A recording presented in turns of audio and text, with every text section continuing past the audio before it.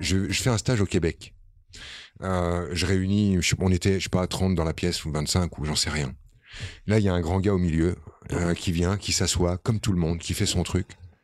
Et au bout de quelques heures là-dedans, je comprends, je finis par comprendre que tout le monde le connaît. Mais bon, tout le monde le connaît. Je me dis bon, voilà, c'est des clubs de perchés, tu sais, là-bas, ils font des clubs de perchés au Québec. Donc, je me dis bon, machin. Puis au bout d'un moment, en fait, je, je- je commence vraiment de prendre conscience que le gars qui me dit je fais quoi dans la vie, ben, il me dit je suis humoriste. Et en fait, oui, c'est vraiment son job pour moi. Ça n'existait pas ces gens-là. Puis en fait, des gens reconnus dans ce truc-là viendraient pas s'asseoir au milieu d'une pièce avec des parfaits inconnus pour se remettre en cause. Jérémy, lui, il arrive. Tout le monde le connaît, mais tu fais pas deux mètres dans la rue au Québec, mais tu fais pas deux mètres, hein, pas deux. Hein, il passe, lui, il marche comme ça. Salut, ouais, ça va, ouais, on s'est vu, ah, trop cool, merci. Et il s'arrête, un selfie, un machin. Euh, Tu fais un kilomètre en quatre heures. Mais euh, ce qui m'a scié, c'est que ce gars-là, donc qui a du succès, qui a ses appuis, qui est en force, qui va bien, il vient, il s'assoit avec les autres, il dit rien, et il dit ok, moi je vais me retrouver à poil dans deux secondes. Je remets mon image en cause. C'est pas je suis dans un truc où personne me connaît. Il y a des mecs qui ont son, son statut qui vont pas boire un coup quelque part parce qu'ils ont peur que leur image, leur truc, leur machin. Mm. Et lui, il se pointe au milieu et boum, il ouvre. Et en plus, quand vous l'avez en stage, alors là, évidemment, euh, c'est comme s'il y avait deux thérapeutes dans la pièce parce que lui, il te fait un putain de bien rien qu'à être là. Ouais, c'est vrai, Jérém. Chaque immersion que t'as fait, ça compte. Il amène une couleur au truc. Et tu, euh, tu peux pas rester étanche à son, son machin. Enfin voilà, moi, Jérémy, euh, pour moi, c'est, c'est ça. Et on s'est vu, on s'est euh, revu et on s'est kiffé. Et puis bah voilà, je suis super content que que tu voilà que tu sois là. Je, beau, je je pense chacun des mots que j'ai dit, je dois le préciser parce que on a deux personnes ici qui ont l'habitude du showbiz et de de de l'hypocrisie ambiante. Euh, le- le- une fois de plus, il est là en train de se pointer dans notre obscur truc de de, de perché. Et euh, une fois de plus, il me fait le plaisir, il vient, il s'assoit. Et allez, on y va, on est ensemble, quoi. Euh, L'humain est devant, devant l'humoriste. Merci Francky. Euh, ma version maintenant? C'est pas du tout vrai. Tout ce qu'il vient de dire, il n'y a rien de vrai. Je me suis jamais assis dans ce stage. On s'est jamais rencontrés. Non, c'est vrai que je suis allé dans ce stage-là. Et moi, j'y vais un peu par hasard. C'est-à-dire que j'ai une amie à moi qui s'appelle Stéphanie, qui me dit Viens avec moi. Il y a un gars qui s'appelle Franck Lobvet qui vient faire un stage de jour. Et je suis hyper ouvert à ce genre de choses-là. Et je m'en fous complètement que les gens me reconnaissent. Moi, je veux juste aller vivre un truc euh, Euh, nouveau. il, il commence toutes ses matinées par boire un jus de céleri. C'est vrai. Pour vous dire à quel point je suis haut, haut dans le ciel. Et euh, donc, je vais m'asseoir euh, dans ce truc-là. Et on est une trentaine en, cercle. Et là, euh, Franck se déshabille et nous dit non. Franck, Franck commence son truc et littéralement après euh, 10 minutes, je suis bluffé parce que j'en ai, ai- regardé des choses, j'en ai regardé des, des choses de développement personnel de perché dans, dans, ma, dans ma quête de moi. Et, et je tombe sur ce gars-là que je connaissais pas du tout. Je suis impressionné. Je suis impressionné et dans ma tête, je me dis c'est impossible que ça se termine à juste, euh, juste ça. Dès le premier jour, je me dis c'est impossible. Et donc à la fin du premier jour, moi je me dis je vais aller le voir. Je veux aller séduire ce gars-là. Je veux qu'on devienne amis. Tu vois, c'est ça mon plan.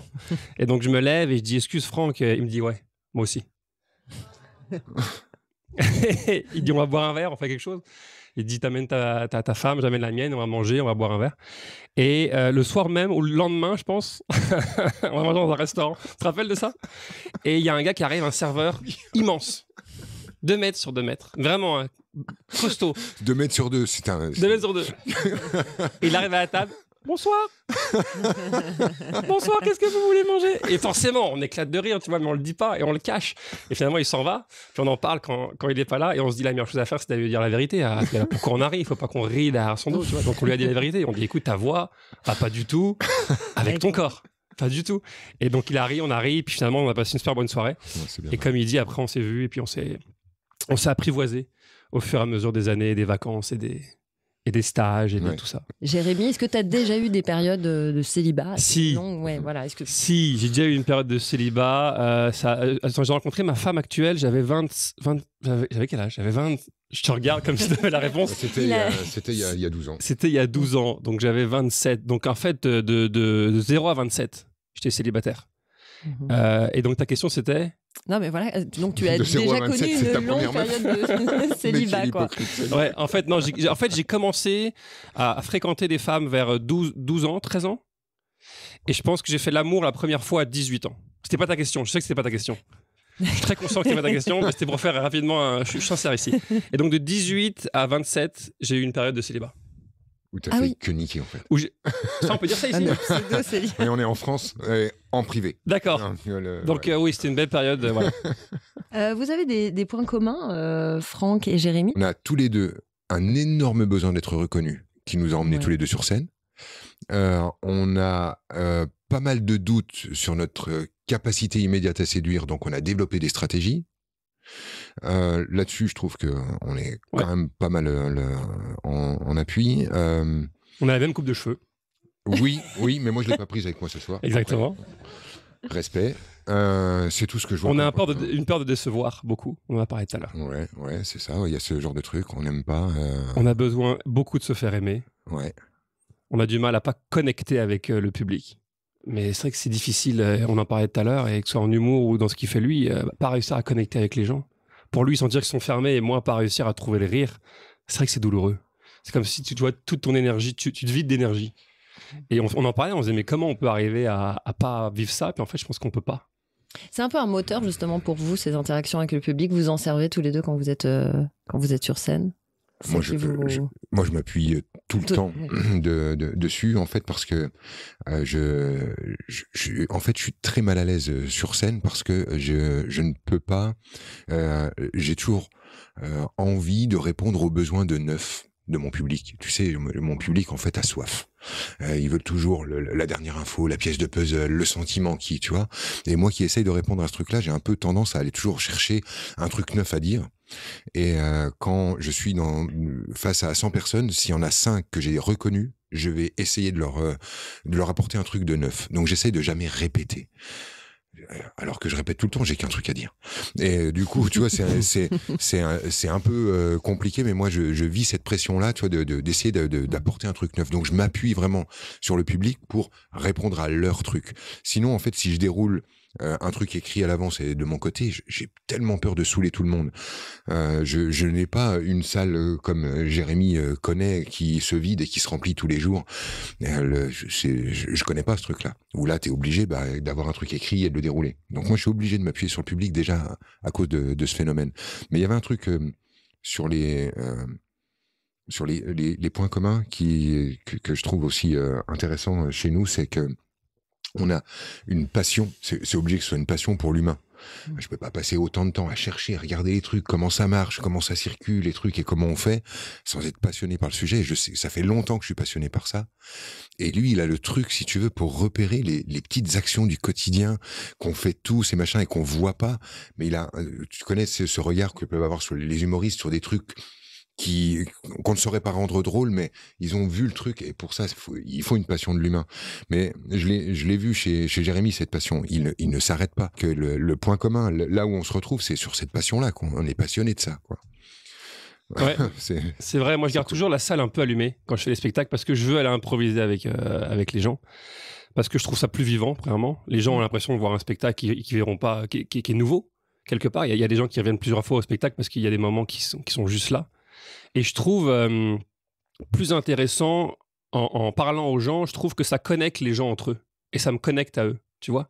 Contrairement à un humoriste qui garde la salle noire et qui fait son spectacle, je trouve qu'aller leur parler, aller m'intéresser à eux devant tout le monde, à ce qu'ils font dans la vie, à qui ils sont, d'où ils viennent, etc.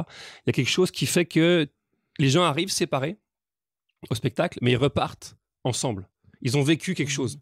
On, on a transformé la salle en un, en espèce de petit, euh, un petit village, tu vois. Qu'il y ait euh, 50 personnes ou, ou 2000, c'est la même chose. On, on a réussi à faire un petit village tous ensemble. Et ça, on le fait tous ensemble. Mais des fois, bah, tu vois, j'arrive pas des fois, une fois sur trois, des fois, je, ah, je sens que ça connecte pas comme je voudrais. Et c'est là où je sors vidé parce que j'ai pas réussi à faire ce que je voulais, qui était connecter tout le monde ensemble. En plus de les faire rire, bien sûr. Et donc, euh, mais comme dit Franck, c'est vrai, cette façon d'aller rapidement euh, où je veux et dire ce que je veux. Je sais pas d'où ça vient. Je pense que c'est- inné ou c'est juste de la, stupidité, mais je sais pas. Je dois avoir. En fait, c'est jamais méchant, tu vois. Il y a toujours de la bienveillance et, et... bah, t'étais au, spectacle, Arnaud. Et donc, j'arrive à aller dans des endroits euh, que même moi, je me dis, bah non, ça passera pas. Mon, cerveau me dit, dis pas ça, dis pas ça, dis pas ça, tu vas finir en prison. Et finalement, bah si, si, je vais le dire parce que je suis très immature. Moi, j'ai 8 ans dans mon cœur, et donc ça sort. Et puis voilà. Et puis euh, il me dit, tu vois, je t'avais dit, mais mais quand même, j'ai, euh, plus fort que moi. Finalement, ça passe. ça passe, ça passe. Alors justement, on va regarder un extrait de ton spectacle et de vos prestations à tous les deux sur scène pour voir justement. Mon Clem, comment vous êtes rencontrés tous les deux? On s'est rencontrés dans un bar. Dans un bar? Ouais. Continue. Vas-y, ferme les yeux, continue. Qu'est-ce s'est passé On a dansé un slow. T'as dansé un slow? T'as dansé un slow? Et en quelle année t'étais T'étais en 1991 Putain, mais épouse-la, mon pote Tu vas l'épouser, j'espère On demande depuis un moment, ils veulent pas. hein. Il- il- c'est- ah, T'as vu la pote collabo à côté Elle va tout lâcher. Merci, ma chérie, j'adore. Il demande quoi depuis un moment Bah, elle demande à ce qu'il fasse sa demande. Elle demande à ce qu'il fasse sa demande. Elles sont où tes couilles, mon clair? Elle est belle comme un cœur. Elle respire la joie de vivre. Elle a dansé avec toi au plus profond de l'abîme de ton alcoolisme. T'aurais dit demander en mariage le lendemain, Clem. Donne-moi une bonne raison de pas le faire. Ah, qu'est-ce que t'attends? Ok, mais tu sais quoi? On te regarde. Vas-y, Clément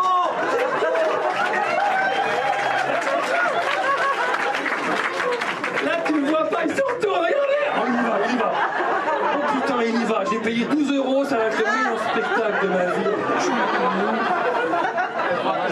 Tout le monde prend beaucoup de plaisir, sauf Clément. Une petite odeur d'urine en ce moment dans son pantalon. Peut-être que être toi-même, c'est être un peu faux cul. Là, bah, si là, ça fait déjà des. Je vais pas pouvoir répondre à toutes les questions.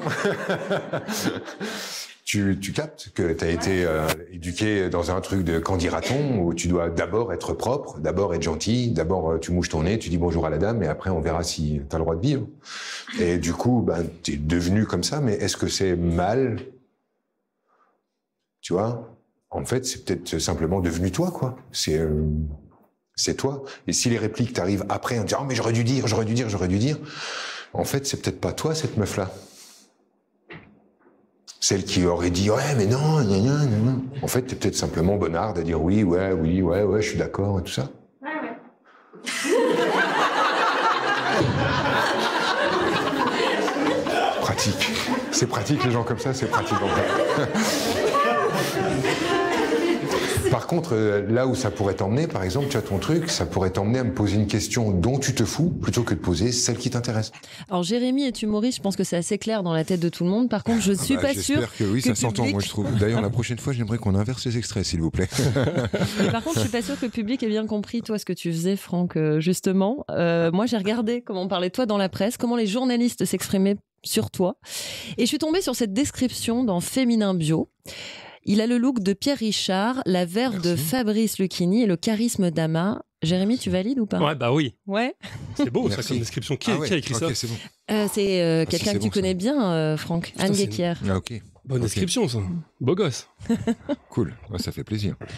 Qu'est-ce qu'on vient chercher, euh, selon toi, lorsqu'on assiste à une masterclass de Franck? Euh... Réponds bien, s'il te plaît. C'est c'est pour mon business.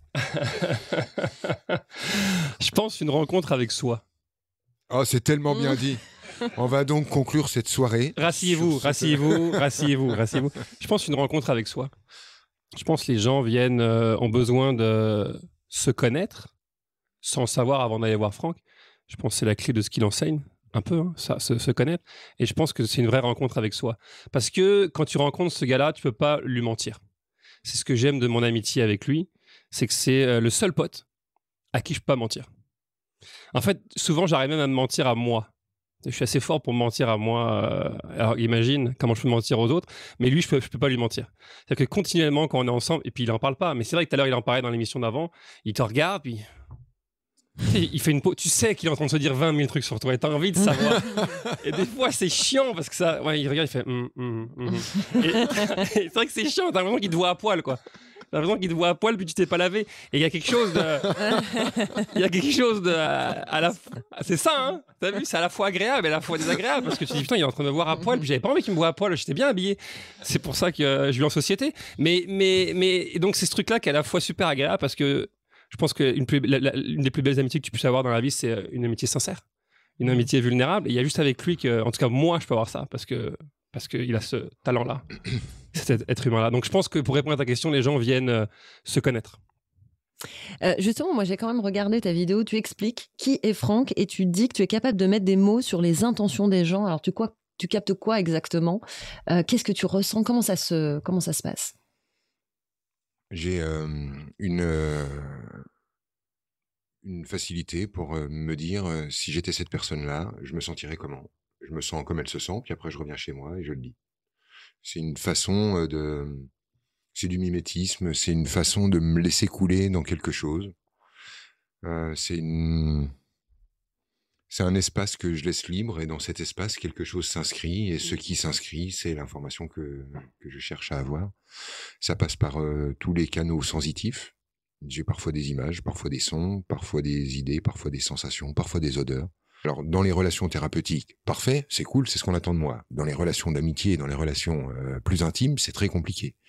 Parce que je ne peux pas entendre euh, le- de, de- dou- de double fond. On peut pas me parler sans que j'entende une autre couche en dessous, puis une couche en dessous, puis une couche en dessous. C'est automatique en fait, ça le fait. C'est strictement automatique constamment. et c'est constant. Donc ça veut dire qu'il faut que j'accepte euh, d'arrêter de systématiquement mettre du sens sur le truc sous-jacent, tu vois. Euh, donc rester un espèce de premier degré. Et d'ailleurs, tu vois, c'est une, une- un peu de ça dont il est en train de parler tout à l'heure quand il dit il y a des fois, il est en train de dire Mhm, mhm. tu sens bien qu'il y a 20 000 trucs dans sa tête et il dit en fait non, dans les moments-là, je suis en train de faire attention à ne rien aller voir. Vous Alors justement, réponse si je te demande moi d'aller voir et, et de me dire euh, qu'est-ce que je fais là, Franck? Qu'est-ce Là qui m'anime? Pourquoi je suis là ce soir? Ah ok, t'es- putain, tu t'es waouh, tu tu y vas comme ça, cool. C'est euh, Ça, c'est génial. cool, ça. Ouais, c'est cool. Ouais, vraiment. Ça c'est cadeau. Moi je moi je prends toujours Ça, c'est comme, euh, courageux, c'est cool. Ouais, c'est toujours ça comme un cadeau. Alors déjà, euh, euh, on parle de ce moment-là, hein, c'est ça la, la question? Ouais, qu'est-ce que Ok. euh, quand je vais de- dans ton énergie, alors outre le waouh qui t'a immédiatement fait peur parce que tu t'es dit merde, qu'est-ce qu'il a vu? et qui euh, le va pas dire. Donc il y a d'abord cette première sensation, mais il y a en fait le désir profond, sincère et direct d'en finir avec euh, d'être prisonnière de ton image. T'es en train de foutre le feu à la baraque comme une malade en ce moment, en train de dire si je dois tout perdre, je n'ai rien à foutre, mais moi je veux vivre avec Elodie. Et c'est très fort dans ton énergie. Euh, Il y a une, euh, une belle peur de se ramasser, mais euh, tu es en train de, de, te dire je m'en fous, en fait, si, euh, si je perds l'amour des autres, mais que je gagne l'amour de moi, ça va le faire. Et voilà ce que je ressens. euh, voilà tous les mots que je peux poser, si tu veux, dans l'énergie là qui se dégage autour de toi. Mais je pourrais parler jusqu'à demain hein, de- d'une énergie, puisque tant que tu creuses, il y en a quoi. Bah, va je suis assez, euh, je suis assez euh, bluffée. C'était la bonne réponse. Oui, eh ben, je, je pense qu'il y avait quand même des choses qui étaient très justes dans ce que tu as dit. Et je comprends pourquoi ma mère, justement, euh, a un peu peur de venir en couple à un de tes stages euh, avec son mari. Et je pense qu'elle aurait plus de facilité à assister à un spectacle de Jérémy. Ce sera pas forcément plus facile. je sais pas. Est-ce que justement, euh, Jérémy, tu as plus des couples, des célibataires qui viennent te voir euh, Je pense qu'il y a les deux. Je Mm. demande euh, souvent pendant le spectacle et c'est assez. euh, Moi, j'ai séparé un couple. Ah, Moi, Ça, je me rappelle, je vais faire un show dans un Moi, bar. jamais. Si- toi, jamais Je- je- Si. J'en sais rien. si, si. Non, jamais. Je vais, non, non. je vais faire un soir, dans un, un spectacle dans un, dans un bar en 2010, je pense. Et il y a le propriétaire du bar au, au- au Québec. On fait beaucoup de choses dans les bars. Il vient me voir et il me dit Ah, je suis avec ma, ma ma nouvelle copine. euh, hésite pas. Taquine-nous si tu veux. J'étais sûr. T'es sûr? Il me dit oui, vas-y, t'es vraiment sûr là. C'est- T'es cool, t'es cool avec ça. Il dit oui, vas-y, vas-y, vas-y, vas-y, vas-y, ça va être cool. Vas-y, il y, a- tous ses amis, il y a tous mes amis. En plus, c'est son anniversaire, c'est mon anniversaire. Vas-y. Parfait. je commence mon spectacle. Et à un moment donné, c'était un bout du spectacle où je disais jusqu'où t'es prêt à aller par amour pour quelqu'un? Qu'est-ce que tu serais prêt Tu sais, Quand on dit pour le meilleur et pour le pire, je pense qu'il voulait se marier. Donc, je leur pose la question c'est quoi le pire? C'est quoi le pire que vous pourriez supporter pour l'autre Et quand je dis le pire, on va j'ai dit on va imaginer le pire. Mais vraiment le pire du pire. C'est-à-dire, imagine un jour, ton mec, il a un accident, il perd ses bras, ses jambes, c'est un oreiller. C'est un oreiller. il a plus rien, ok Mais on imagine le pire. Elle me regarde en disant vas-y, vas-y, connard. Non, mais. et, et je lui dis est-ce que tu resterais avec? Et elle dit non. Et là, tu sens un malaise dans le bar. Finalement, ça se passe, je continue le spectacle. Le gars vient me voir à la fin, il me dit merci Jérémy. Je dis qu'est-ce qu'il y a? Je l'ai envoyé chier cette connasse. C'était mon anniversaire, etc. On avait fait une soirée, tous ses amis sont là, sa famille est là, et elle me dit devant tout le monde qu'elle resterait pas avec moi. Ben merci de m'avoir ouvert les yeux sur ma relation avec elle. Alors qu'ils voulaient se marier ensemble les deux. Et ils se sont séparés le soir du spectacle. Puis en plus, pour une fois, il est tombé sur une femme honnête. Et ils tombaient sur une femme honnête. Et voilà, ils se sont séparés devant tout le monde. C'est pas qu'on C'est pas comme qui question. disais que les trois premières minutes, on avait l'intuition de savoir. euh, Euh, savoir seconde, je pense. Ouais, Seconde. c'est ça, ouais. seconde, Milliseconde, ouais. Ouais, c'est ça, ouais. Parce que minute, ça y est, l'autre, il t'a endormi. Ah ouais, ça fait longtemps. Trois secondes, je pense tu sais que si un mec est fait pour toi. Ouais, c'est ça. Non, pas fait pour toi. Bah, fait pour toi pour la soirée au moins. ouais, c'est ça, voilà. C'est ça. Ouais, ok, on Que est tu- sur la même longueur d'onde. Bien sûr. Que tu sens qu'il y a un truc, quoi. Que t'as envie. Ça. Parce que s'il est ok pour la première, c'est bon, ça peut être bon pour la deuxième. Bien sûr. Et, et ainsi de suite. Bien sûr. C'est. Jérémy, toi qui étais euh, longtemps célibataire et puis ensuite euh, tu as une femme, tu es marié. Enfin, il l'a souvent trompé. Enfin, après.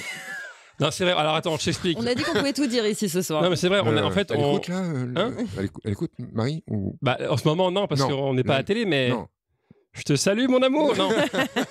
en fait, euh, ouais, je l'ai trompé au début. Je lui ai dit. Je lui ai dit. Et après, pendant plusieurs années, on a eu un couple ouvert. Ah, c'était quoi? C'était polyamour ou Euh, ça veut dire quoi, polyamour Ça veut dire tunique, mais Dieu est d'accord. Non, mais je sais pas si c'était ouvert. Ça veut dire qu'on avait le droit d'aller ouvert, c'est ça, c'est Ouais, ouvert. c'est d'aller voir ailleurs. Ouais. Mais euh, ouais, c'est ça. On a le droit d'aller voir ailleurs. Ouais, mais, en fait, polyamour, c'est tu vas voir ailleurs, mais au nom de l'amour. Hein, pas pour le cul. Au nom de l'amour, toujours. Alors qu'en fait, c'est pour le cul. On est d'accord, non? Euh, tu Qui va voir ailleurs au nom de l'amour? Tu salis tout, Jérémy. Ok, mais qui va voir ailleurs au nom de l'amour? Bon, ouais, Si mais vraiment? Ok, d'accord. Non, mais euh, donc on a le droit d'aller d'aller voir ailleurs pendant plusieurs années parce que je pense que j'avais vraiment envie de ça. Mhm. Je pense que c'est une période de ma vie où j'avais envie de faire l'amour à toutes les femmes de la terre. Bon, alors tu vas me dire, Franck va me dire, est-ce que ça a changé? Est-ce que Question. ça a changé? Bah, voilà. Non, mais je pense que c'est, euh, euh, à, à cette époque-là, c'était vraiment, euh, c'était, c'était, très fort en moi. Je pense que j'aurais voulu faire l'amour à toutes les femmes de la terre, monter dans l'espace et faire l'amour à la terre. Littéralement, pour dire j'ai fait le tour. J'étais, j'étais à ce point-là dans ma jeunesse folle. Et donc j'avais ce couple-là ouvert et j'ai oublié ta question.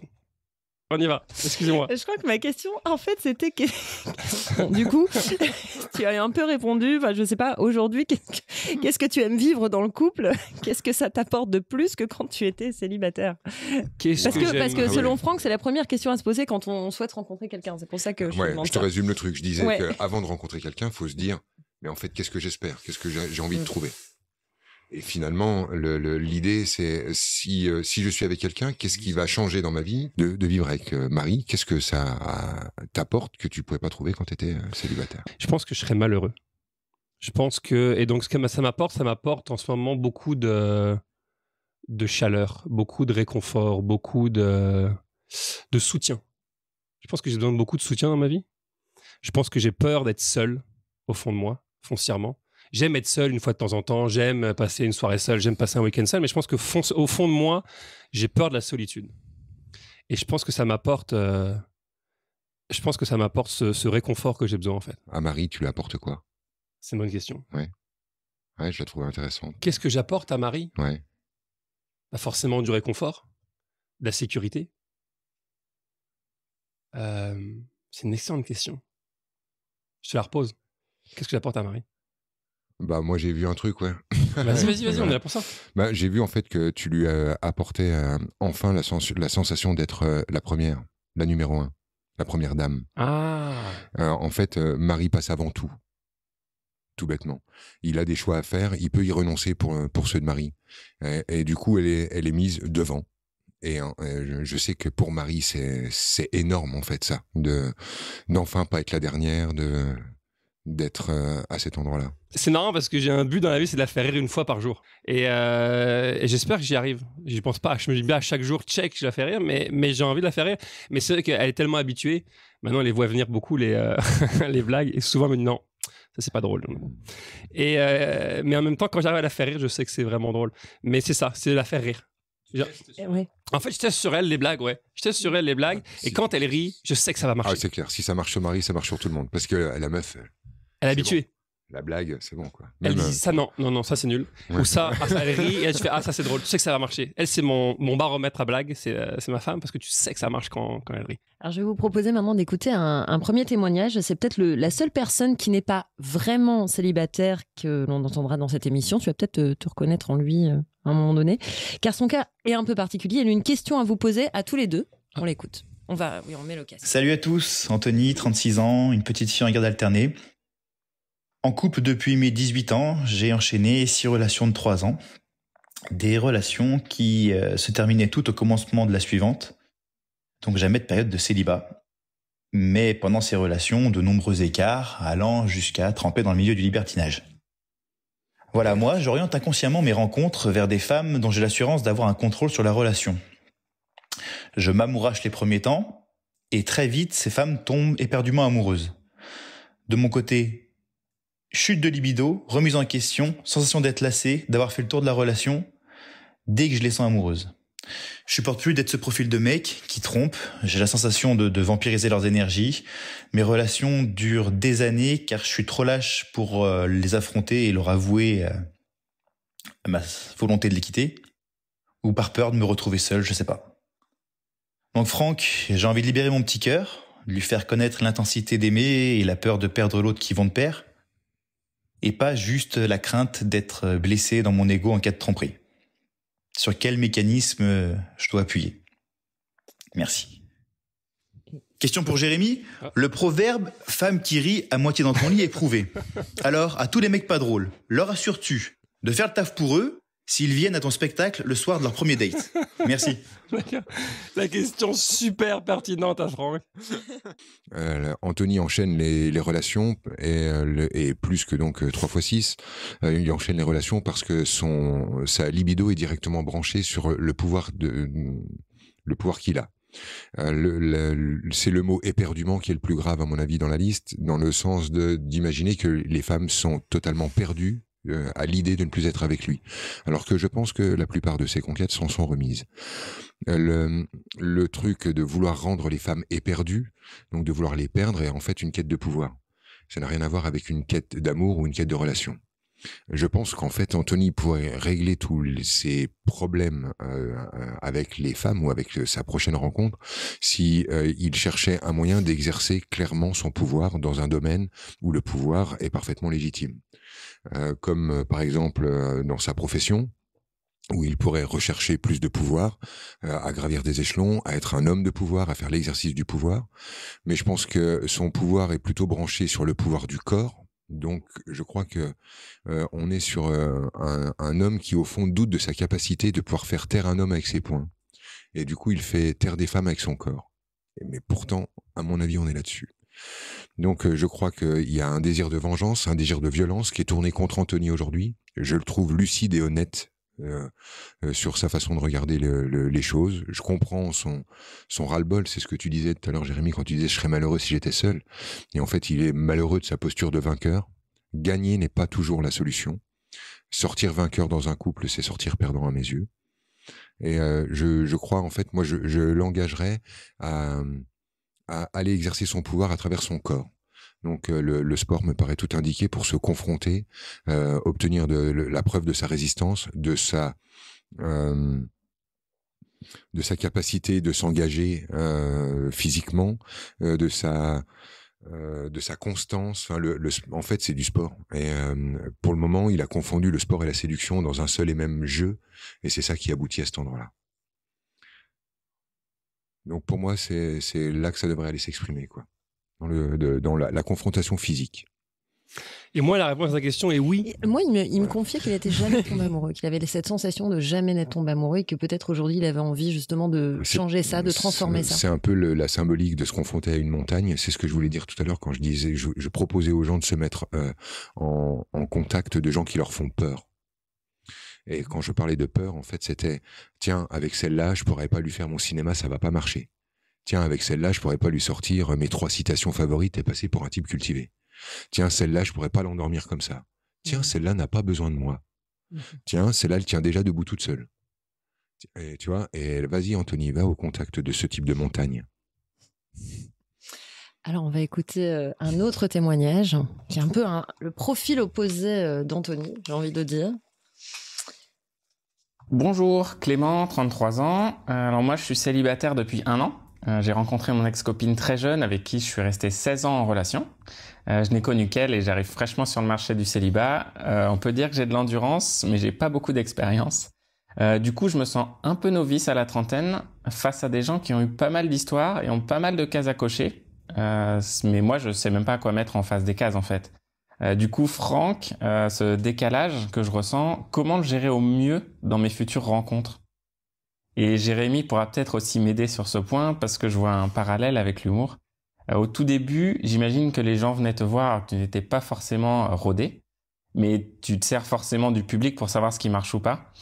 Euh, du coup, comment assumer que les autres vont probablement me servir de terrain d'expérimentation pour savoir qui je suis et ce que je veux en amour? Euh, Et pour la petite anecdote, je me suis mis au théâtre d'impro. J'espère que ça va m'aider. Merci. On parle bien ces gens-là. C'est mon public, c'est pas le tien. Mais j'ai l'impression que la réponse pour les deux, c'est la même. C'est se, se- se dire vulnérable, tu sais. Ouais. Se dire que tu as, que as vécu euh, toutes ces années en couple et que tu pas d'expérience. Et je trouve que c'est beau, pas pour une femme. Toi, tu rencontres un gars qui te dit ça, qui dit j'ai aucune expérience. bah, dans que aucune Oui. expérience. Non, mais, Ça m'est jamais arrivé, donc je suis un peu Ouais, surprise. mais il a dit euh, qu'il était super endurant. mais je suis Oui, endurant. tu vois, je vais, je vais te faire grimper en haut du sommet, mais je tu saches que j'ai pas beaucoup de. de- c'est beau, non Quelqu'un qui, qui, Moi, souffre comme ça? C'est exactement ce que j'allais répondre. hmm. Mais sérieusement, comment tu réagirais à un gars qui te dit ça? Ah ouais, je réagirais pas mal en fait. Je... C'est ouais. une fraîcheur, Mm. c'est une candeur, quelque chose de quelque chose de sain. Je trouve qu'il y a vraiment quelque chose de sain. Et dans sa façon de prendre soin de l'autre avant même de l'avoir rencontré, on voit une forme de disponibilité énergétique. On voit ce qu'il est en train de faire, Clément. Mm. Il est en train de prendre soin de l'autre avant même de le rencontrer. Il est en train de dire bon, l'autre va un peu me servir de terrain d'expérimentation. J'ai envie de faire souffrir personne dans l'affaire, tu vois. Alors qu'il peut encore expérimenter sur une, une- une longue histoire. Et d'ailleurs, expérimenter avec quelqu'un ne signifie pas souffrance. Rupture ne signifie pas souffrance. hein. Rupture, ça signifie rupture.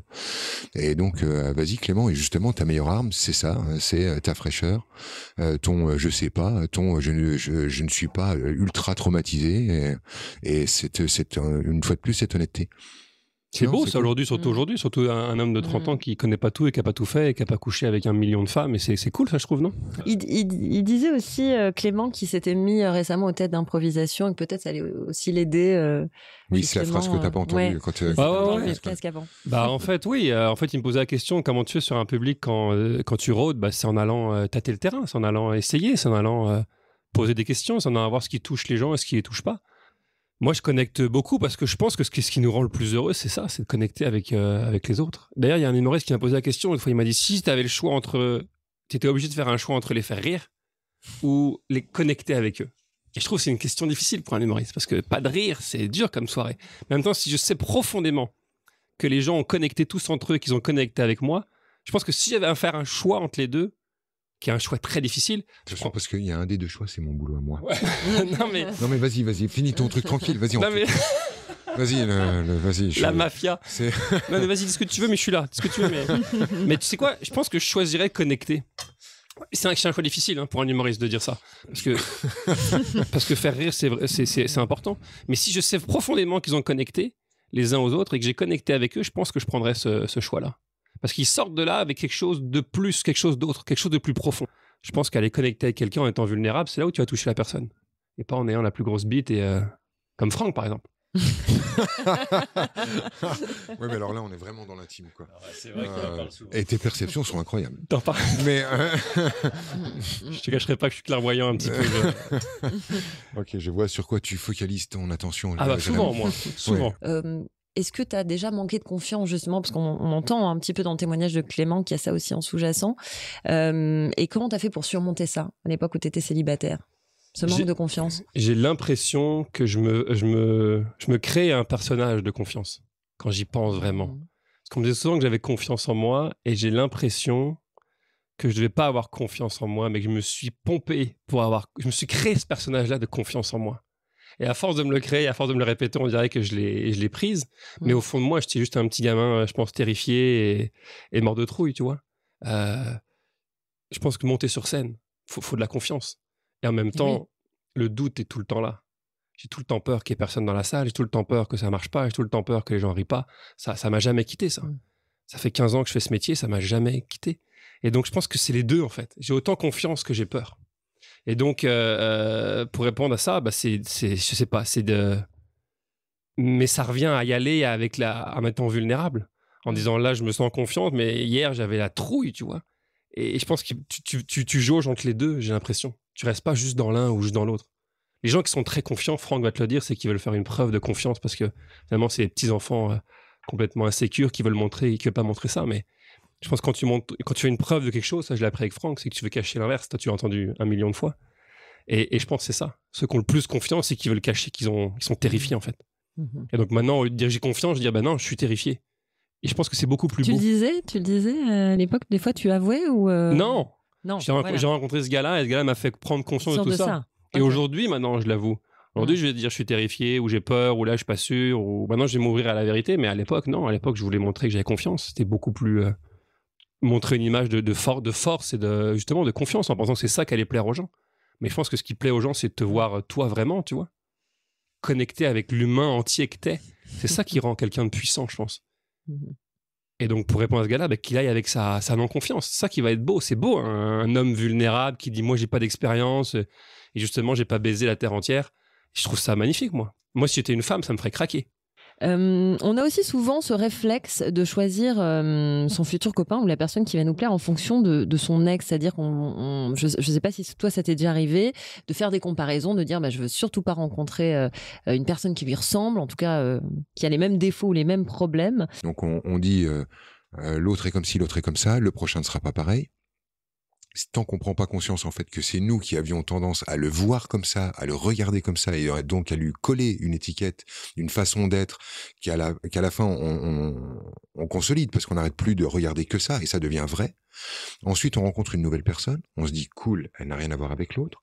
Puis les mois passent et il s'avère que cette personne finit par ressembler à celle qu'on avait quittée.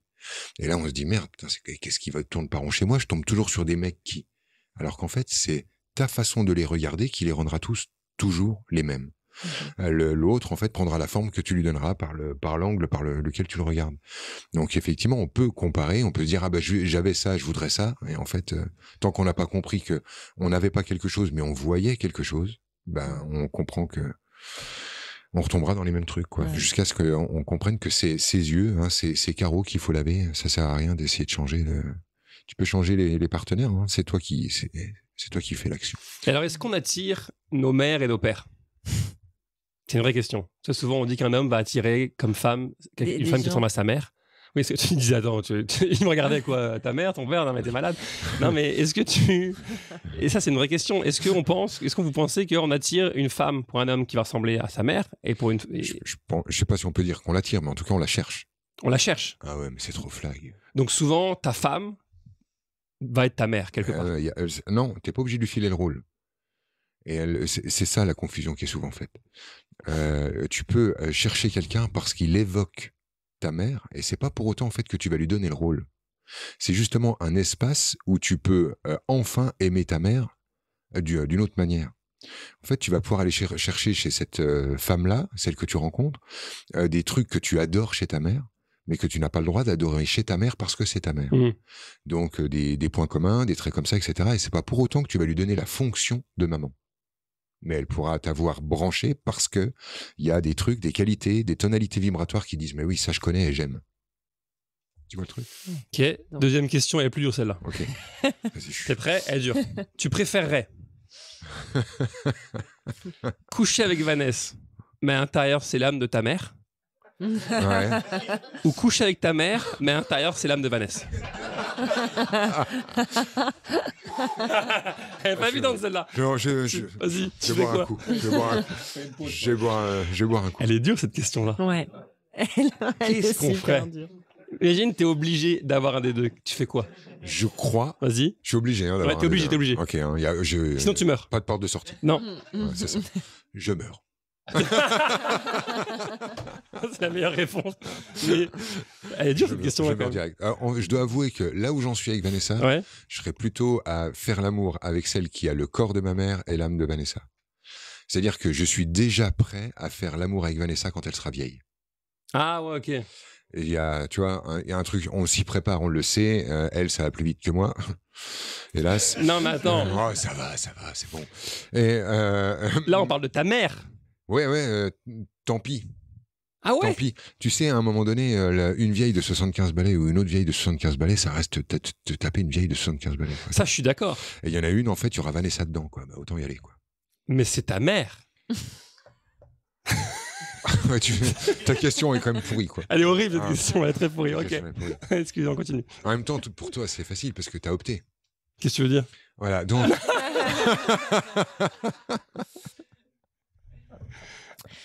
Alors, il y a quelques jours, je suis allée à la rencontre des célibataires parisiens, 300 personnes réunies sur une péniche pour une croisière festive sur la Seine. Waouh, mais c'est quoi ce plan? Dans un cadre, c'est un super plan, Franck. Je t'emmène la prochaine fois. Voilà, dans un cadre romantique avec euh, la Tour Eiffel et les plus beaux monuments de la capitale en toile de fond. Et j'ai baladé un peu mon micro en posant quelques questions. On va remettre le casque, on va écouter ce reportage. cool, Trop bien ça. Mais pas. Premier homme à se prêter au jeu, Stéphane, 42 ans, qui était là. pour rencontrer du monde. Alors pas forcément sentimental, mais d'abord amical et puis après, euh, et plus si affinité. Une rencontre plutôt sexe ou amour? Ah bah, il faut rester sentimental, donc euh, plutôt de l'amour. hein. Sweet Philippine a elle du mal à y croire. Je pense que tu peux pas trouver l'être idéal sur ce genre de soirée-là. C'est pas possible. Pourquoi? Ils sont propices à la rencontre sur de l'éphémère, mais pas sur du long terme. Et moi, le- l'éphémère m'intéresse pas. Parce qu'ils se regardent le nombril. non mais c'est con, mais... Mais non, mais c'est pas le problème. mais- Tout le monde n'est pas d'accord, visiblement, notamment Stéphane qui a une certaine vision du couple. J'ai- J'aime beaucoup le cinéma, j'aime beaucoup les séries télé. Donc je dirais bah, quelque part un couple idéal pour moi au cinéma, c'est le couple que forme Rocky avec Adriane, forcément. Hein, ils sont toujours là l'un pour l'autre. Se rencontrer autour d'une tartiflette sur une péniche et... Ça peut être très original, qui pourrait inspirer un téléfilm de Noël. Alors c'est vrai que la tartiflette au menu pour remballer, c'est peut-être pas l'idéal, non les filles? Bah si parce que comme les deux, ils ont mangé du fromage. Ça se sent plus. C'est être soi-même. Mais s'il s'arrête à une tartiflette, c'est qu'il n'y a rien à vivre. Et c'est sur un débat autour des rencontres tartiflettes que j'ai fait la connaissance de... Vanessa, 32 ans, célibataire. J'aimerais bien être en couple pour partager les choses que j'aime, euh, ressentir des émotions, euh, des sentiments amoureux, etc. Est-ce que justement c'est plutôt toi qui choisis euh, ton compagnon ou c'est lui qui te choisit C'est plutôt moi qui choisis. euh, et s'il m'aime bien, euh, on y va. Et pour bien choisir, Vanessa décide de me tenir compagnie. bah grâce à l'interview, on rencontre des gens. Bon, le premier essai n'a pas été très concluant, je n'avais pas très bien cerné le profil de ce beau jeune homme en compagnie d'un autre homme plus mûr. C'est mon papa. C'est vrai Moi, je suis qu'il allait en soirée sur un bateau mouche. Je lui ai dit, bah, invite-moi. Ce soir, il n'y a pas des jolies nanas, hein? Ce soir, euh, c'est vrai qu'elles sont plus vieilles. Ah bah merci elles sont plus vieilles. Elles sont moins jeunes que moi, c'est bien aussi. En revanche, entre Pierre et Vanessa, le courant a l'air de bien passer. Elle m'a dit Ah, je peux t'interviewer sur, la- sur le célibat et le couple Euh, Ouais, si tu veux. Après, ça dépend ce que tu dis ou pas, quoi. Tu dis des choses euh, hyper euh, personnelles, quoi, tu vois. Et tu sais que l'interview, c'est un exercice. C'est dur. hein. Et si on comparait leurs réponses à mes questions? Pour voir un peu s'ils recherchent la même chose. Euh, je recherche pas forcément quelque chose. Ça, ça, va, ça dépendra de la personne à qui je rencontre. Je me laisse porter, on va dire. Donc ça peut être les deux, Ça peut être les deux. sexe ou amour. Exactement. Bah, de l'amour, de l'amour avec un grand A, et du sexe, euh, parce que c'est quand même ça euh, le plus qu'on a dans une relation. Est-ce que tu as envie de retomber amoureux ou pas? Ah oui, oui, bah carrément. Ah, parce que c'est un sentiment de plénitude. euh. Euh, Le plus important selon toi, c'est de savoir aimer ou d'aimer euh, Non, attends, c'est de savoir aimer ou être aimé, pardon. Savoir aimer, je pense. Être aimé, c'est super bien. Mais savoir aimer, je pense c'est quelque chose qui est pas forcément donné à tout le monde. Et toi, tu sais aimer? Je pense. Bah, J'espère en tout cas. L'important, c'est pas d'être aimé, il faut déjà savoir aimer, parce qu'on peut nous aimer, mais si nous on n'aime pas, euh, ça nous apportera pas grand-chose. J'avoue qu'après cette aventure, j'hésite à me reconvertir en love coach, car Pierre et Vanessa ont passé le reste de la soirée ensemble. Ils ont même échangé leurs numéros, suite de leur histoire au prochain talk show sur le thème de la rencontre. T'as bossé, hein? Ah bah un peu, je me... voilà, j'étais- Wow, à une Là, soirée. L'histoire entre Pierre et Vanessa, euh, c'est bien parti, Jérémy? Et donc tu me poses la question à savoir Voilà, est-ce qu'ils sont encore selon ensemble? toi, non, selon toi, c'est bien parti ou pas? Donc là, ils sont échangés les numéros. euh. On les appelle? Si t'as ton numéro, ça serait génial. mais j'ai son numéro, T'as son numéro, mais j'ai on l'appelle, on l'appelle. Génial. tu vois. Bah, c'est ça qu'on fait. Un truc pour Jérémy, ça. Mais bien sûr, on l'appelle. Alors attends, Ok, elle s'appelle j'ai le Vanessa. numéro. Ah Attends, oui, d'accord. j'appelle- de mon numéro à moi. Mais Comme non, ça- mais- ah si, oui. Comme ça, elle va pas me reconnaître. Moi, j'appelle de mon numéro à moi. je dis, Attends, je suis un pote de Pierre, il t'a rencontré sur la péniche. Ah oui, voilà, voilà, dis-lui ça. Ah ouais, ok. ouais. Il a pas me parler de toi. Mais mais non. Non, mais si. et, euh, si, on savoir que c'est encore ensemble. Si, si. Non, mais en fait, ils sont pas, on sait pas. Ils On sont sait- partis chacun dans un taxi. Moi, je vous dis parce que j'ai vu, j'ai vu la scène. Ils sont partis chacun dans un taxi, Est-ce qu'ils ont repris s'échangeant les, les numéros. Et visiblement, ils auraient repris contact. Après, je n'en sais pas plus. Que j'appelle. 06 03 31. Non, mais on va- Merde. En attendant, Ça aurait été marrant. Voilà. ouais, on- bon. Et Jérémy, c'est toi qui choisis ta partenaire ou l'inverse alors? C'est toi qui as choisi Marie ou c'est Marie qui t'a choisi? Écoute, comment on s'est rencontrés? C'était un petit bar qui s'appelait le Zarico. C'était au début de ma carrière où je fais un spectacle et je n'étais pas du tout connu à l'époque et on, euh, on- on- nos nos regards se croisent, ça connecte. Et le lendemain, elle a trouvé mon numéro de téléphone Ah, par une amie qu'on avait en commun et elle m'a appelé. Et avant de m'appeler, elle a quitté le mec qu'elle avait. Avant même qu'on se parle. Elle a dit si je veux appeler ce gars-là, c'est que le gars avec qui je suis en ce moment, ben ça marchera pas. du coup, elle était dans la bonne disposition Ah bah, énergétique. euh, voilà. Marie, c'est un bulldozer. Tout ce qu'elle veut, elle l'a. Euh, c'est pas, vrai, pas compliqué. Mm. Non, mais le- lui, il a essayé de se barrer 100 fois. Il ne peut pas se barrer de sa femme. Il peut pas s'en détacher. On peut. C'est très très difficile de résister à un amour quand il est quand il est offert, quand il est véritable, quand il est sincère. Mais quand même, l'autre a le droit de, de pas forcément, comme on parlait d'énergie, de ressentir l'énergie, de pas être sur la même longueur d'onde et de pas forcément euh, être attiré par la personne, même si la personne l'aime et lui envoie tout son amour. Non, il n'y a pas une. Eh ben, Ça écoute, mar- ça marche à tous les coups. euh, non, c'est, c'est évidemment des, des tas de gens pensent que ils ont déjà fait l'expérience d'aimer sans être aimé, Mm. et euh, j'avoue que je, je n'y crois pas. Je n'y crois pas. Je, je pense en fait que euh, quand on aime sans être aimé, ça n'est pas de l'amour qu'on dépose chez l'autre, euh, de du désespoir, euh, de, de ou de l'espoir, euh, de l'envie, du pouvoir, des trucs comme ça. Et l'autre, en fait, ne veut juste pas marcher dans la combine parce qu'il sait en fait que l'énergie qui est en train d'arriver, c'est une énergie comme ça. T'es en train de vouloir m'attraper, t'es en train de vouloir me mettre la main dessus, t'es en train de vouloir me siphonner, t'es en train. c'est- Non, ça ne marchera pas. Par contre, viens avec de l'amour en face, bah, on résiste à ça, quoi. Je, moi, je suis pas sûr qu'on puisse. Sincèrement, je suis pas sûr qu'on puisse. Après, c'est tellement rare de tomber sur quelqu'un qui est capable de dire, mais oui, le haut, le bas, le moche, le bon, le fort, pas fort, euh, je t'aime, euh, c'est le temps plus chaud. Je sais que, en tout cas, pour euh, des hommes comme nous, il y a un truc qui est bon de nous rappeler, c'est qu'on a rencontré nos épouses respectives dans des moments où on était personne publiquement. Mm. Pas de rond, pas de succès. Et ça, ça compte. On sait en Mm. fait qu'on est vraiment aimé pour les, euh, ce ce qu'il y a, quoi. Tu. C'est marrant parce qu'un jour, je suis vraiment un grand connard. Un jour, je fais un remerciement pour. euh, on me remettait.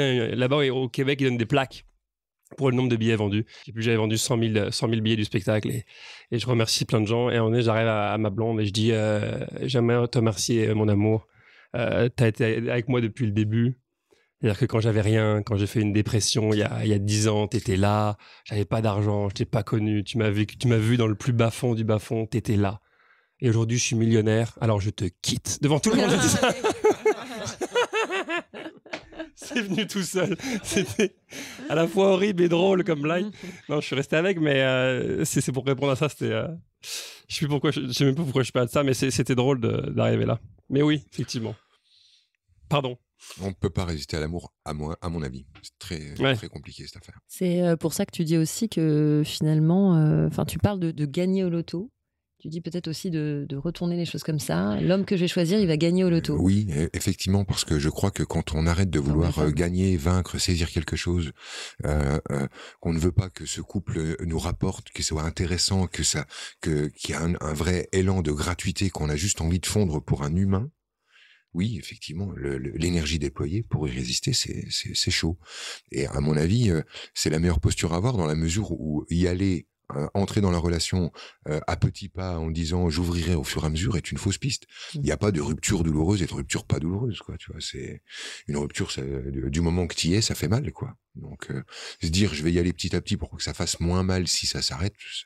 Non, je pense que moi je suis plutôt sur ce truc-là en tout cas. à on y va en grand et si, si ça s'arrête, ce sera douloureux, aussi douloureux que si ça y est, si on n'avait pas ouvert en grand. Franck me disait dans la première partie qu'il Ouais. fallait pas faire, enfin, d'après ce que j'ai compris, les critères, tout ça, c'est pas. Ah si, sur le physique, ça marche. Je, disais. je, je, je disais en fait que euh, lorsque on, on est branché euh, sur d'abord des critères, on va refuser des tonnes d'énergie avec des gars qui ont un peu moins de cheveux que les autres, mais qui sont incroyablement charismatique. Enfin, je veux dire, euh, enfin, j'ai même rien. Je, je crois, je suis ému. Je suis ému d'en parler. Je suis, je suis ému d'en parler. Et euh, non, mais blague, blague à part, il y a vraiment ce truc-là. Moi, j'ai vu euh, vraiment des gens dire non, mais il doit être comme ça, et du coup zapper des, des énergies où tu dis mais t'es con. Tout ce que tu cherches est là-dedans, et là parce que il manque des cheveux, tu Ouais. T'es folle. Ah ouais. T'es, t'es complètement folle. Ouais. T'es- t'es- tout, est, tout ce que tu cherches, c'est là, mais tu vas l'aimer en deux secondes avec ou sans cheveux. Et c'est vrai C'est que pour des ça qu'il n'y a fois. pas que les critères physiques, Bien évidemment. sûr. Et c'est, là donc il y a le, ce, ce piège euh, de, de, Mm. de l'image qui peut être parfaitement euh, trompeuse. Tu penses que par exemple un, un vegan pourrait être avec quelqu'un qui travaille dans un abattoir ou qui est hyper carnivore, qui mange que de la viande, ça, Oui, pourrait oui, coller quand même? euh, Oui, Ouais. exactement, exactement. En fait, euh, dans la mesure où on est capable de euh, le- euh, donner, en fait, même ça pourrait même mieux marcher. Mhm. Si dans un couple on était capable de dire à l'autre, euh, le, je respecte euh, ton système de croyance et tu n'as pas besoin de penser comme je pense pour que je puisse t'aimer. Et l'amour serait posé sur autre chose que sur la pensée de l'autre. Parce qu'après on croit tomber amoureux des gens alors qu'en fait on tombe amoureux de leur pensée. Mhm. Mais du coup, s'ils changent de pensée, on fait quoi? Euh, Je pense que c'est intéressant ça de, de dire non, on peut on peut regarder on peut regarder ça et peut-être même que à tous les deux on pourra être un peu moins strict. Il y en a un qui sera peut-être un peu moins vegan et un un peu moins viandard et peut-être qu'on trouvera une voie euh, au milieu de tout ça. Il y a, il y a aussi ces possibilités là. Alors sur quoi on se base finalement pour, euh, pour faire la rencontre quand on est célibataire comme ça? On... C'est quoi? C'est de l'énergie? C'est euh, finalement on n'a plus trop de critères? C'est ce qu'on ressent comme ça quand on croise un Moi, je regard pense que- dans une Je pense vraiment on- en fait que les, les gens que tu as interviewés sur la péniche ont Mm. parfaitement saisi le truc. On y va, on vit l'instant et on s'en fout. D'accord. Et, ça sentait ça, tu vois, ton truc là. Ouais, ouais, Il y avait de la musique, c'était machin, c'était. Bon, c'est un prétexte, bah ouais, c'est cool si ça arrive, mais franchement, ouais, vous savez quoi, on s'en tape. Bah grave. Et il y avait vraiment de ça. Mhm. Et je, je, je- moi, pour moi, je pense que ça compte. C'est vraiment toujours ces histoires de disponibilité énergétique. On y va et on s'en fout. Je désire ça et je le relâche. Tu vois, pour moi, créer, c'est ça. C'est je désire un truc et je l'oublie. Et ça va se faire. C'est pas être focus, c'est ça que tu expliquais dans la première partie. Pas être focus, pas être focus. ni focus, ni focus, Ni d'accord. focus, ni focus. C'est ça. On désire et on relâche, on passe à autre chose. Alors on va écouter un, un dernier euh, témoignage justement. Salut Franck, je m'appelle Mounir, j'ai 39 ans et je dirais que mon cas c'est celui d'un intermittent du célibat. Euh, en vrai, ça fait euh, des années que j'alterne des relations euh, qui durent maximum un an et demi, deux ans. Et le truc c'est qu'aujourd'hui, j'ai l'impression de très bien m'en accommoder. Euh, notamment depuis une rupture euh, que j'ai surmontée et qui a coïncidé avec un certain aboutissement d'un travail de détachement que j'avais commencé des années avant euh, cette relation. Et depuis, on va dire que je compose avec une double question. Je me demande si je suis capable d'aimer aujourd'hui et je me demande si je l'ai déjà été capable d'aimer. Aujourd'hui, j'ai l'impression de ne plus pouvoir ressentir euh, vraiment quelque chose pour quelqu'un, d'être dans un schéma désir, pulsion, désillusion. Qu'est-ce qui va pas chez moi Pour reprendre euh, les mots d'un grand artiste? Euh, Le, gars nous disait qu'il avait euh, 39 balais, qu'il alternait, donc il faisait de l'intermittence du célibat, euh, que euh, c'était suite à une rupture euh, qui avait abouti à un prêt à avoir opéré un travail, un long travail de détachement, de non-attachement, en fait, pour être plus clair. Et en fait, il est victime de ça, c'est-à-dire que le gars s'est collé au plafond, en mode je vais devenir équanime, c'est-à-dire l'équanimité, c'est l'idée d'avoir un avis neutre à peu près sur tout. Donc tu finis par aboutir à cette neutralité. Et le gars donc ne déteste pas mais n'aime pas. Et euh, il s'arrange toujours pour euh, ne voilà ne, ne, ne pas être plus engagé que ça au niveau euh, au niveau émotionnel. Parce que c'est ça, il disait qu'il avait la- le, le sentiment de ne plus rien, sent- euh, ne plus rien sentir. Oui, ça, ça aboutit à cet endroit-là. En fait, le- tu sais, c'est tout simple. On, se- on se perche vraiment pour des questions de douleur. hein. 9 fois sur 10, c'est Mhm. vraiment une question de douleur. On vit un truc qui est insupportable et on se perche. Alors lui, il est passé par différentes phases parce qu'il y a dans le séducteur, le séducteur et le gourou sont toujours l'un à côté de l'autre. Donc, euh, si tu veux, un séducteur qui fait du travail sur lui et un gros travail sur lui, en général, et ça devient un gros gourou. Et un gourou qui n'a pas de public et qui a rien à dire de spécial, c'est juste un gars qui va aller à la chasse. Avec euh, sa jolie phrase, euh, sa jolie posture, euh, ses idées toutes belles, et ça va être son son J'ai pas, matos, j'ai de, pas le sentiment qu'il était très séducteur. mais- son, son matos de chasse. Son matos Mm. de, de, de, cha- de chasse, ça n'est pas je te séduis, c'est je te convainc, euh, je te, je te, je te répare, euh, je te parle de à Mm. quel point je suis habité, à quel point je suis connecté, à quel point je vis des trucs que tu ne vis pas. Euh, C'est, c'est ça le, le, le, fond de commerce du truc, mais je pense qu'il est parfaitement au courant de ce truc-là parce que quand tu le vis, euh, tu as un sentiment euh, très gênant. Euh, tu peux pas ne le, le vivre et pas le savoir. Donc je, après, je parle pour lui, il est pas là. hein. Euh, on pourra euh, dire non mais il se trompe ou je dis n'importe quoi, mais moi je- je- je- j'exprime ce que je ressens et je crois en fait qu'il a euh, fini par aboutir à réussir à se tenir à distance de son monde émotionnel Mhm.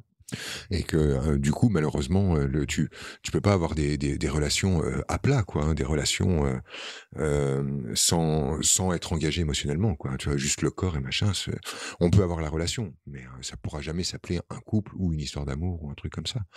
Il y a un truc aussi je sais pas comment on peut le creuser ensemble ou aller voir là-dedans si tu veux mais ce sera peut-être pas le cas ce soir et, peut-être que je me trompe aussi de, de, de période dans ce qu'on est en train d'essayer de faire. Mais très souvent vous sentez quand on parle de polyamour, quand on parle d'intermittence du célibat, vous sentez dans ma réponse et dans mon énergie quelque chose qui dit ça marche pas. Alors que plein de gens en fait vivent ce truc-là et se sentent épanouis, légers, pas de prise de tête, c'est cool, ça marche bien, on se régale et on vit le truc. Mais ce qu'il y a, c'est que quand tu es branché sur euh, l'énergétique, tu vois en fait qu'on ne peut pas faire euh, les mêmes échanges énergétiques avec une personne qu'on connaît depuis euh, trois mois que celle euh, qu'une avec qui on, on a partagé trois ans et encore moins 10 et 30, etc. Et c'est moi c'est ça c'est je faut pas oublier que mon regard est tordu parce que je suis branché énergie et que je suis énergéticien donc j'ai toujours du mal à avoir cette réponse qui pourtant existe dans le, dans le monde qui est de dire ouais vous avez le droit et c'est cool jouir du corps le plaisir du flirt combien je, je rencontre de personnes qui aiment juste flirter Mm. cette découverte cette machin cette magie cette première électricité et tout. je connais tous ces trucs là mais c'est vrai qu'il y a un truc en moi qui dit mais il y a un autre truc il y a un autre truc que vous avez pas vu et Est-ce qu'il faut vraiment du temps euh, pour euh, apprendre, à- pour se connaître et pour savoir si la personne nous correspond vraiment finalement je pense que c'est il faut compter plus en temps de peau contre peau que en temps de en, en temps vécu ensemble Mhm. je crois en fait que ce qui se produit est, est à un, un- un niveau euh, chimique, un niveau euh, organique, un niveau énergétique. Et les niveaux énergétiques eux-mêmes contiennent de- différents euh, niveaux. Mais euh, je, moi, je conseille de, euh, de mettre la peau en mouvement euh, dans, dans tous vos échanges. Euh, quand vous touchez l'autre, il se passe des, échanges, et ces échanges-là, en fait, euh, opèrent. Ils réalisent quelque chose dans l'échange. Ils construisent quelque chose. Ils réparent. Ils font, ils font vraiment leur boulot. Et euh, en tout cas, pour moi, c'est très très net. Le contact avec une peau me dit immédiatement, ça, ça peut, ça peut pas. Mais après, si je veux euh, prolonger une relation, améliorer une relation, etc. Je passe, je demande d'abord à mon corps de le faire avant de faire intervenir ma tête, ma rhétorique, les échanges, la discussion, etc. D'abord le corps. Mon corps est capable de réparer euh, une, euh, une, un malentendu, une mauvaise conversation, quelque chose qui aurait été mal pris, mal vécu. Simplement, en fait, parce qu'on va être l'un à côté de l'autre et que le- les échanges vont se faire, le truc va se faire, se détend. Et à un moment, on se regarde, on sait que ça a lâché, on sait que la colère est tombée, on sait que la peur est tombée, on sait que c'est réparé.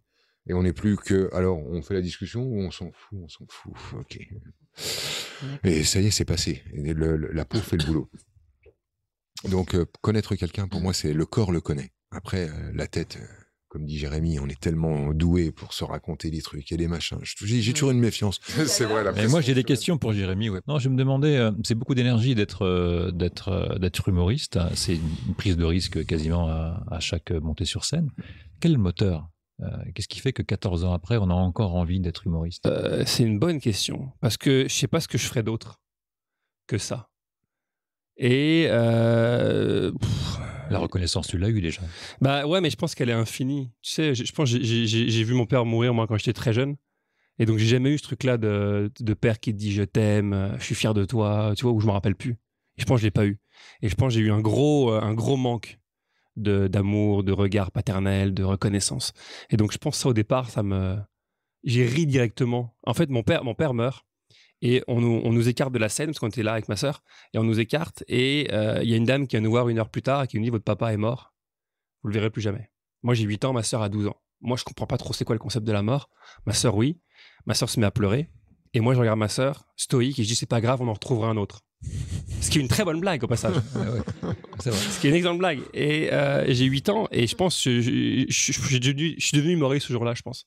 Il, faut, il faut que j'aille voir la vie avec euh, humour parce qu'il vient de m'arriver la pire chose que je pouvais vivre. Je pourrais jamais vivre quelque chose d'aussi pire que ça, je pense. Et donc, j'ai pas le choix d'aller voir la, la vie avec humour. Parce que, et maintenant, je vois tout avec humour. Je peux, je peux rire de la mort, je peux rire de absolument euh, tout parce que, parce que j'ai vécu le pire. Et donc, je pense que c'est ça mon moteur, au fond. Donc, on l'a bien entendu. Le moteur, c'est faire rire sa sœur. Le moteur, c'est faire rire ma sœur. ouais.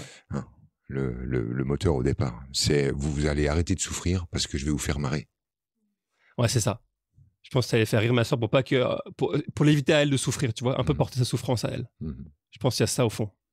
Et donc euh, et donc c'est pour ça que je fais ce métier-là, je pense. Peut-être que chaque personne qui rit un peu euh, chez Jérémy oublie un peu son malheur et que finalement, c'est euh, c'est ça un truc d'humoriste. quoi. Mais dans ton C'est ça la spectacle, proposition. Quoi. Peut-être, ouais. Ton spectacle s'appelle comment? Enfin vivant. Enfin vivant. Ton spectacle rend les gens vivants. C'est d'ailleurs ton intention. Ouais. En fait, je pense que c'est mon intention aussi. Je pense que ce que je leur parle, je me parle à moi. Rendre vivant, oui, avec ce qu'on vient d'entendre là, il y a du lourd en dessous, évidemment. Ouais. je pense c'est euh, ouais, j'ai ça, je pense. Le gars, il ressuscite de rien. Moi, je viens avec mon mort la prochaine fois. quoi. Quand je, suis- quand je suis allé à ton spectacle, j'ai vraiment senti une, une, une volonté euh, farouche de, de, de- d'inclure la salle avec toi. Tu, tu vas la chercher, tu, tu lui demandes pas, tu la prends. Ouais. Cette salle. Ouais. Et donc ta question Eh ben, c'est ça. Le, le- le devenir vivant, le être vivant, tu l'incarnes justement par ton lien avec la salle. Donc c'est toujours pas une question, mais, mais c'est un moyen de te comprendre un, un petit peu mieux, surtout pour ceux qui n'ont pas encore vu le spectacle, qui d'ailleurs se déroule de. Tiens, voilà une question. Ouais, c'est le jeudi et le samedi au théâtre Le République. Jusqu'à quand? Jusqu'à euh, fin avril pour l'instant. Et, euh, mais tu m'avais pas dit qu'en juin il y avait encore. un- Il y, avait, il y a juin, juillet, mais on n'est on pas encore sûr de où. C'est encore à Ah, déterminer. Mais tu sais quoi? J'ai souvent les pieds froids. Je pense, et je sais pas ce que c'est émotivement, mais j'ai souvent les pieds froids. Mais il y a un endroit où j'ai les pieds bouillants, c'est sur scène. On dirait que c'est le seul endroit où je reprends toute mon énergie. On dirait que sinon je pars ailleurs.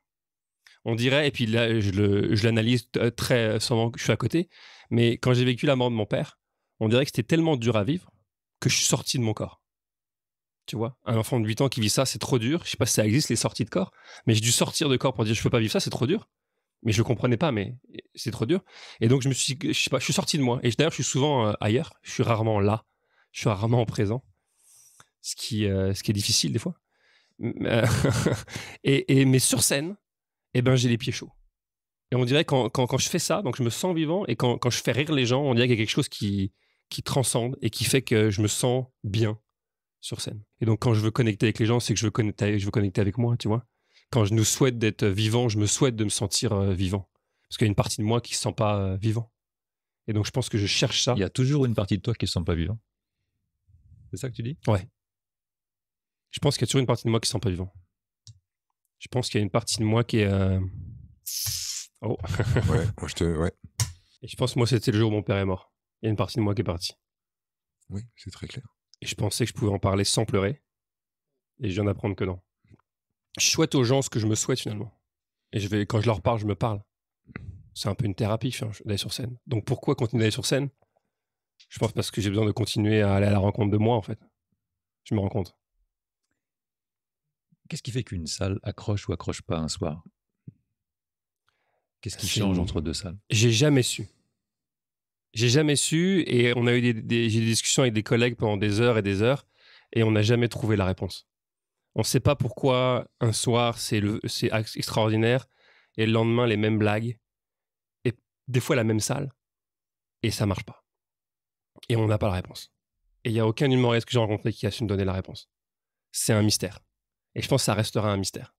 Donc à chaque soir, je suis sur une corde raide parce que ça peut très bien se passer ou ça peut flopper totalement. Fait que merci à vous, à vous, à vous Non, trois, vraiment. merci. hyper... Merci, merci à vous. euh, Ouais, c'était cool de vous avoir là, ouais. C'est hyper chaleureux. Ça rajoute beaucoup. Dis Moi, j'ai pas vu le spectacle de Jérémy Et encore, tu donc euh, je vais venir. quand même à y aller. Mais bien sûr, j'invite tout le monde à aller voir le spectacle de Jérémy. On va laisser la parole à Franck pour Ouais. terminer. Bah oui. Euh, oui. Mot de la fin, Franck. T'as le droit à deux mots.